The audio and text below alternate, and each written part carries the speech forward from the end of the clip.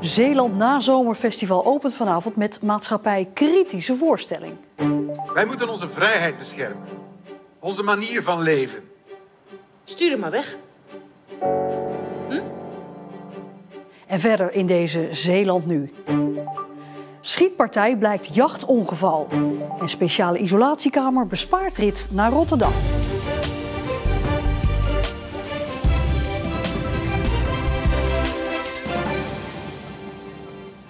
Goedenavond. In Sluis opent vanavond de 21ste editie van het Zeeland Nazomerfestival. Een jaar later dan gepland door alle coronabeperkingen.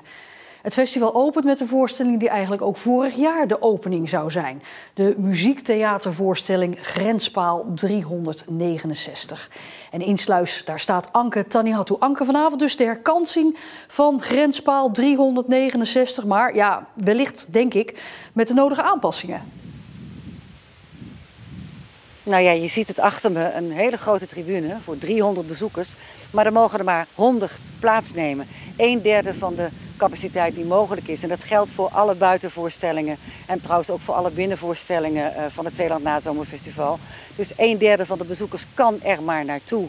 Maar het is een heropening. Ook deze voorstelling is ook een heropening. En ik zou het misschien voorzichtig wel een soort wedergeboorte van het Zeeland Nazomerfestival willen noemen. Want er is een nieuwe festivaldirecteur en die schuwt het engagement, zoals dat zo mooi heet, niet. Uh, er zijn onderwerpen zoals diversiteit, vluchtelingenproblematiek, racisme, eenzaamheid. Allemaal maatschappij-kritische onderwerpen dit jaar op het festival. En daar is Grenspaal 369 een heel goed voorbeeld van. In Grenspaal 369 strandt een vluchtelinge die naar Engeland wil in het Zwin. Een vrouw neemt haar op in huis, maar zet daarmee haar huwelijk op het spel. Het dilemma van hoe moeilijk het is om keuzes te maken. Maar ook hoe moeilijk het is om goede keuzes te maken. Het gaat over de uiterste, de polen van onze samenleving. En die heb ik samengebracht in een huwelijk. En als er iemand komt die net onze uh, kwetsbare relatie in disbalans brengt, ja, dan zijn we verloren. Wij moeten onze vrijheid beschermen. Onze manier van leven. Stuur hem maar weg. Hm? Terug naar daar waar ze vandaan komt? Ik uh, maak me de laatste jaren ernstig ongerust over de polarisatie. Dat we ons allemaal terugtrekken op onze alle vestingen en niet meer met elkaar bezig zijn. Zeker, zij is hier de ongewenste gast en niet ik. Zij kan nergens meer naartoe. Ik denk dat het goed is dat het uh, diversiteit laat zien. Um, en dat er een, een divers stuk zeg maar, op het festival is. vind ik heel goed dat theater ook een taak heeft. Het is niet amusement als uh, lol, maar als uh, een goed boek lezen. Waar het spannend is. En dat is wat we weer hebben willen doen met deze heropening van het festival.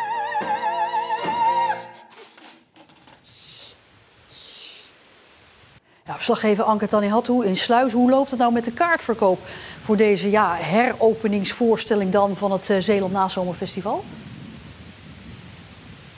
Nou, vanavond is het in ieder geval helemaal uitverkocht. Maar dit is echt een, een opening met genodigden. Voor uh, alle andere voorstellingen zijn nog kaartjes te krijgen.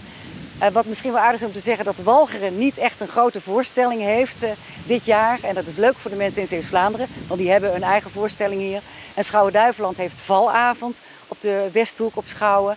Dus de Walgenaren moeten het meeste reizen dit jaar. En dat is wel eens anders geweest. Dus ik denk dat deze eiland, dit eiland heel erg blij is nu. Als je het dan hebt over die kaartverkoop, hè, uh, ja, nog veel uh, voorstellingen die dus niet uitverkocht zijn, nu op dit moment. Ja, is dat zo dat na anderhalf jaar van talloze evenementen die allemaal afgezegd moesten worden, weten de mensen wel dat dit nazomerfestival gewoon doorgaat? Nou, ik zou zeggen bij deze. En misschien, ja, misschien zijn we het een beetje ontwend dat er dingen wel doorgaan. Maar ja, als dan het weer ook nog een klein beetje mee nazomert, dan lijkt het toch vandaag bijna normaal, het leven. Anke, dankjewel. Een man is rond het middaguur gewond geraakt bij een jachtongeval in de buurt van Kerkwerven. De man is per ongeluk in zijn been geschoten door een andere jager waar hij mee op pad was. In de eerste instantie meldde de politie dat er sprake was van een schietpartij, maar dat bleek dus al snel een jachtongeluk te zijn. De man is ter plekke behandeld en daarna met een ambulance naar het ziekenhuis gebracht. De graansilo in Zierikzee wordt schoongemaakt om daar een grote pijlschaal op aan te brengen. Om aandacht te vragen voor de stijging van de zeespiegel. Deze watermeter wordt een echte eyecatcher in de stad. Als je vanaf de Zeelandbrug komt naar Schouwen-Duiveland of als je uit de richting Bruinisse Nieuwekerk komt, dan zie je van verre al pijlschaal, een donkerblauwe centimeter op deze graansilo staan. En dan hoop ik dat je denkt, hoe hoog staat het water daar eigenlijk? Eerst wordt de gevel gereinigd en worden loszittende delen verwijderd en dat allemaal op 40 meter hoogte. We hebben al wat mooiere projecten in Zierikzee zelf ook gedaan. Hè, Neptunus van bladgoud voorzien. Maar uh, dit is toch wel weer een, een hoogtepuntje. Ja. 10 september moet de pijlschaal klaar zijn. Door coronamaatregelen waren er het afgelopen kwartaal in Zeeland 12% minder overnachtingen.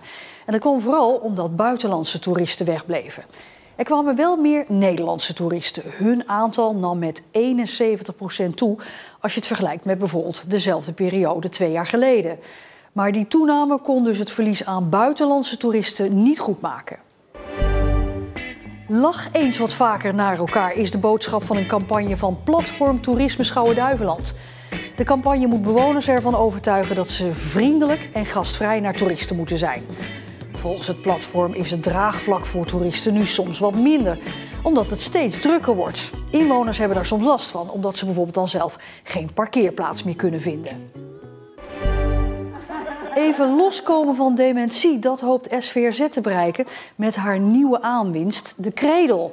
Een instrument dat een geluid maakt of een liedje laat horen als je het aanraakt. Zo kunnen zorgmedewerkers beter contact maken met de bewoners van de zorginstelling. En wat hoort u? Ja, een trein. Een trein, ja. Onze bewoners zijn heel blij en wij zijn heel blij. Je ziet de persoonlijkheid terugkomen, maar je ziet ook, en vaak is dat non-verbaal, zie je dat dat mensen blij maakt. Dat ze daarvan genieten. Ik voel me prettig. Ik heb het naar mijn zin. En dat wil heel wat zeggen hoor. En aan verschillende andere SVRZ-locaties wordt nu dus ook in Westdorpen gebruik gemaakt van een kredel. Niet alles in de ziekenhuizen draait tegenwoordig om coronazorg. In het ADRZ in Goes zijn er ook nog andere ontwikkelingen geweest. Het ziekenhuis heeft een nieuwe isolatiekamer in gebruik genomen. Speciaal voor kankerpatiënten die stamceltherapie hebben gehad. De kamer is nu een jaar in gebruik en alle betrokkenen zijn zeer tevreden. Anja de Vlieger uit Zonnemerre is een van de eerste patiënten die wekenlang in de nieuwe isolatiekamer heeft gelegen. Ja, die was toen net gereed, dus toen mocht ik hierin. Ja, ja geweldig. Ja, het is ook echt uh, super. En de douche en alles, ja, het is precies zoals het was. Ik vind het geweldig, uh, ook voor de patiënt natuurlijk, maar ook voor onszelf. Uh, dit is toch wel een, een vooruitgang ook voor de Zeeuwse patiënt en daar zijn we heel blij mee. Patiënten verblijven twee tot drie weken op deze ziekenhuiskamer na zware chemobehandelingen en stamceltherapie in Rotterdam. Zoveel mogelijk geïsoleerd, omdat zij zeer kwetsbaar zijn voor infecties. Om dat toch zoveel mogelijk te voorkomen dat mensen infecties krijgen, uh, zit er hier een sluis dus in de kamer. Uh, in die sluis is druk aanwezig en door die druk die in die kamer aanwezig is, willen we eigenlijk proberen om de uh, bacteriën en virussen die vanuit buiten komen, niet de kamer binnen kunnen komen. Dus op die manier beschermen we de patiënt en noemen we het daarom ook beschermende isolatie. Hoe vond u dat u hier in Zeeland terecht kon? Dat vond ik echt geweldig. Want anders had ik dus ja, of naar Dordrecht gemoeten of iets. Nou ja, en dat, hier ja, dat is toch een beetje meer eigen. Dan zou ik stoppen met die pijnstillers. Ja. Kankerpatiënten met lymfklierkanker of bepaalde kankersoorten in het beenmerg komen in aanmerking voor stamceltherapie in Rotterdam. Voorheen waren de Zeeuwse artsen hun patiënten maanden kwijt. Nu niet meer. Dan kwam het voor dat er dan een briefje kwam uit Rotterdam. Een patiënt is getransplanteerd na vier, vijf maanden. En dan volgden de controles gewoon weer hier. En vaak hou je wel contact met die patiënten, maar dat stuk raak je kwijt. Nu ben je betrokken eigenlijk tot en met die stamceltransplantatie. Dus zit je in dat hele traject, blijft die patiënt onder je eigen behandeling. We zijn ze eigenlijk maar zijn ze een week uit beeld, zou ik maar even zeggen, in Rotterdam. Dus je, je blijft er heel nauw bij betrokken dan. Ja. Wat vindt u daarvan? Nou, ik ben daar wel blij mee. Met Anja de Vlieger gaat het nu veel beter. De verwachting is dat de behandeling haar ziekte een paar jaar de kop indrukt. Het gaat supergoed. Ja, ik voel me mezelf goed. Dus uh, ja, goed is goed, zeg ik dan.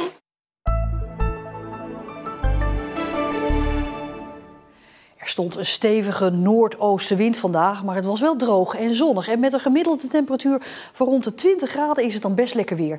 Voor een fietstocht bijvoorbeeld. Morgen dan wordt het nog iets zonniger. Maar in de tweede helft van de week koelt het dan weer wat af en zien we mogelijk dan toch weer wat buien. En tot zover deze Zeeland nu. Straks nog het uitgebreide weerbericht na onze serie Code Groen. Wat doet Zeeland om in het jaar 2050 klimaatneutraal te zijn? Daar zitten een paar hele interessante initiatieven bij. Nog een fijne avond en graag tot morgen.